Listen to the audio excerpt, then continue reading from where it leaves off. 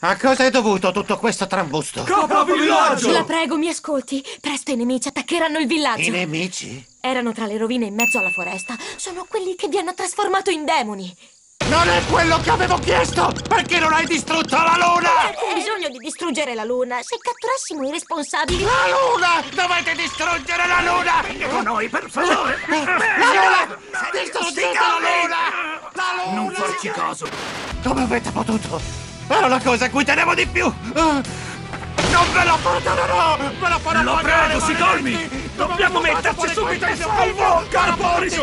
Non me ne importa niente! Lascia...